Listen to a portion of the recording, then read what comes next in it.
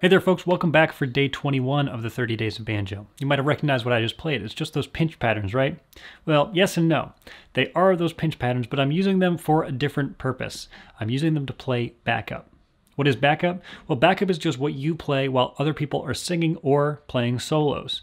So far, we've only been playing melodies and what we might play during a solo, but now we need to play something that we could sing over or that somebody else could sing over. And as it turns out, one really good way to do that is to play these pinch patterns.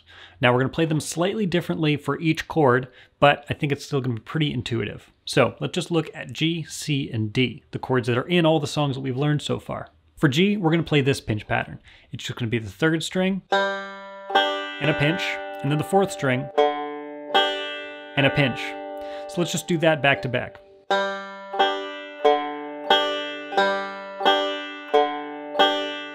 Really seems to sum up the sound of the G chord. We're going to do something similar for C. We're going to put our little C shape that we've been using in tunes like Boil That Cabbage Down and Cripple Creek. And we're going to do second string, and pinch. And then we're going to do third string and pinch.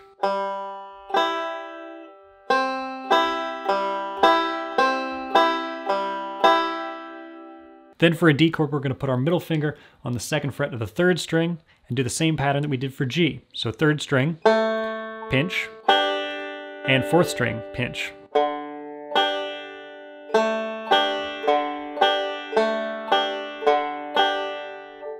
Now you've probably noticed that above every measure in the songs that we've been learning so far, there are letters, G, C, and D.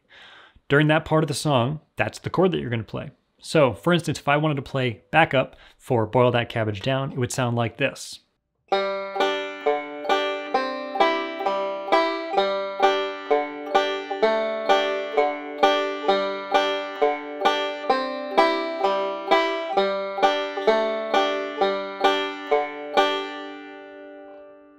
You could imagine somebody singing or playing that tune over what I just played.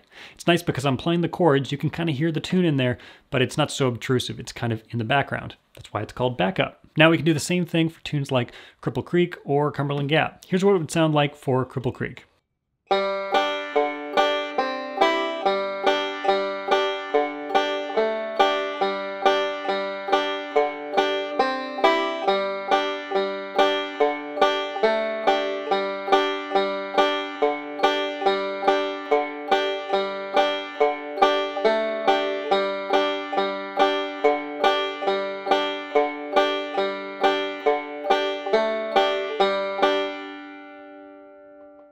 Now, your best bet with all of this is to really try to imagine the sound of the tune. So imagine the things that you already play for these tunes over the top of what it is that you're playing. That's going to make it a lot easier to hear where it is that you're supposed to be. Also, you can follow along in the tablature, but as you go, I hope you become more comfortable so you don't have to look at the tablature while you play. And one other thing, you might have noticed that if we're playing this backup pattern for a chord that only lasts for a half a measure, we just play half of that measure of the backup pattern. So in the case where it would go from, for instance, half a measure of D, half measure of G, I just play the first half of my D pattern and the first half of my G pattern. Doesn't have to be too complicated. So your homework for today is to just play through these patterns as they're written in the tab.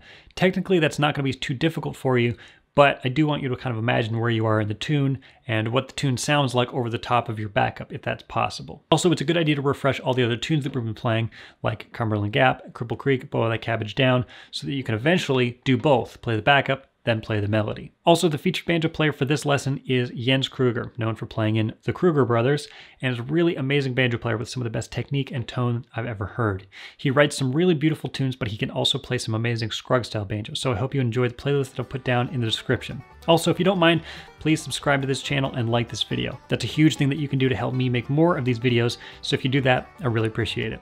Anyway, that's all for today. I'll see you tomorrow for day 22 of the 30 Days of Banjo.